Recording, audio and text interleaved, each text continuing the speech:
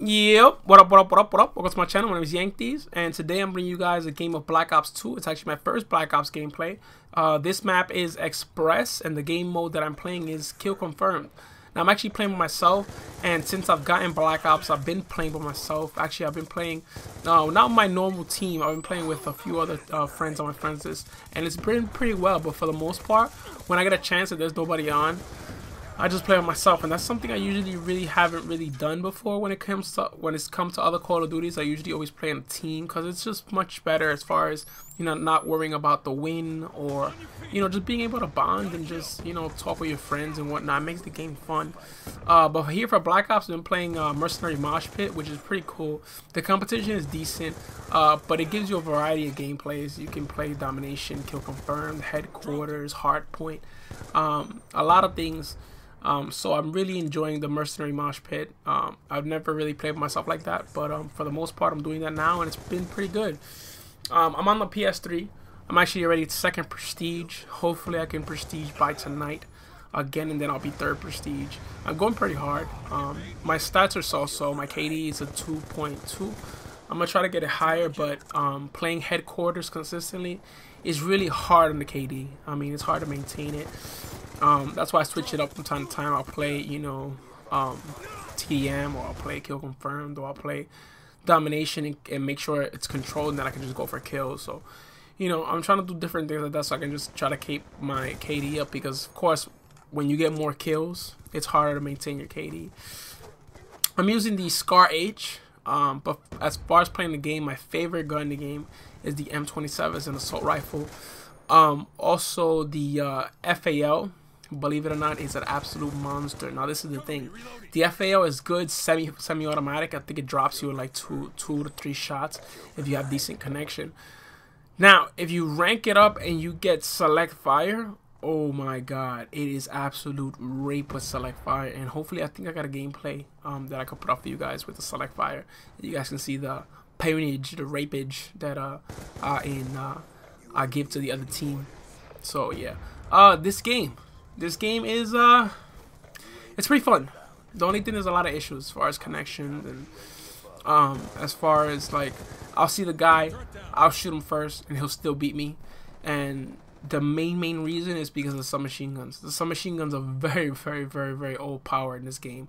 Um, especially the M the MP7, uh, the MSMC is another submachine gun that is OP. Um, all submachine guns are just by far ridiculous.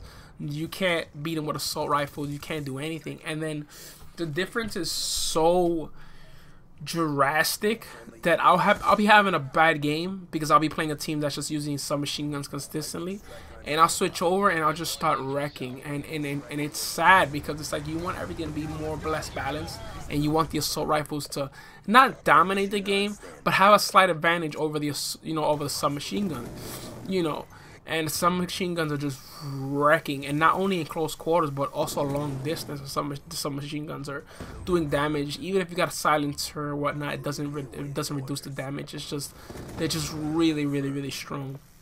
So I hope they patch it and um, buff them and just you know I guess uh, raise the damage in the assault rifles and just try to even out a little more.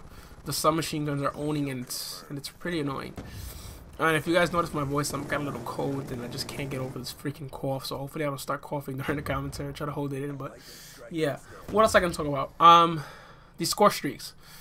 The score streaks are shit hard to get. Very very hard to get. Um, if you're a solid objective player and you got a solid team, then for the most part you could get the big shit. Um, but I've stayed away from it. Um, I've gotten the Lodestar and I've literally gotten a 70, 60 kill game with it. It is an absolute monster. It makes the Reaper look like a child. Honestly, it shoots really fast. The missiles get to the map extremely fast. Um, and you could see enemies even if they have um, bullet on. So it's pretty cool. It's pretty. It's a really really devastating kill streak. Um, I know the uh, the warship, which is the big gunner. It's like the new chopper gunner that's pretty drastic. I mean, it's pretty um pretty strong. Uh, the uh, lightning strike that I just used now I got a triple. That's a really really solid um kill streak, especially if you're playing domination. You're playing any other objective mode.